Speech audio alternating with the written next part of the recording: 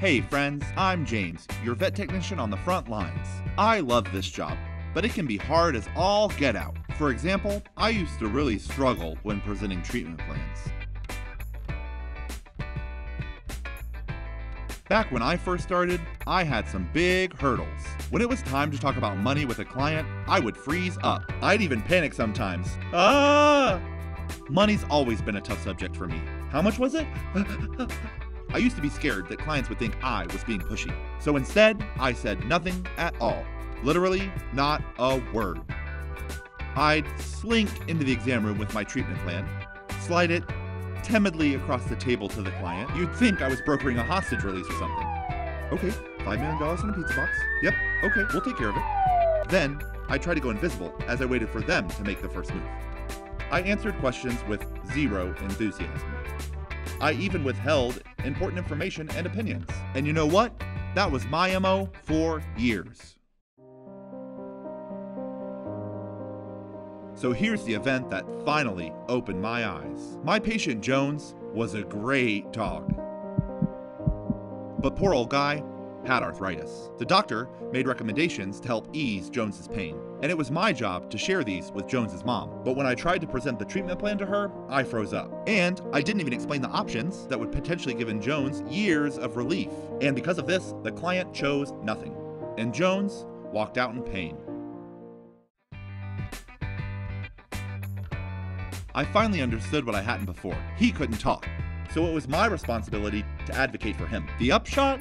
That day, I made a change. Going forward, I would stand up for every patient, and I would explain all the options. And I would even share success stories. I stopped making it about me. Newsflash, it never was, anyways. So, sounds great, right? But how did I do it? It all comes down to a formula I call PICKLE. Pickles, pickles. It may sound silly, but this acronym has really helped me a lot. So let's check out the five steps of pickle pride, inform, confidence, knowledge, and learn to empathize. I take pride in my practice. We offer important services, cutting edge medicine, and state of the art technology. We're staffed with specialists and medical professionals we have the best of the best. When presenting a treatment plan, I inform my client of their options right away. I explain everything before they look at the bottom line. If I don't and they go right to the price, not good. I had to change how I entered the exam room. It's important to really nail that first impression.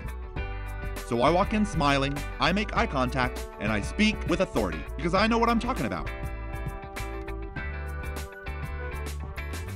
That client needs to see me as confident, knowledgeable, and trustworthy. After Jones, I learned all the ins and outs and details.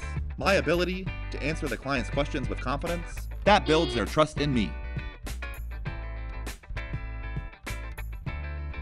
Empathy's about putting yourself in your client's shoes. And when presenting a treatment plan, you need truckloads of the stuff.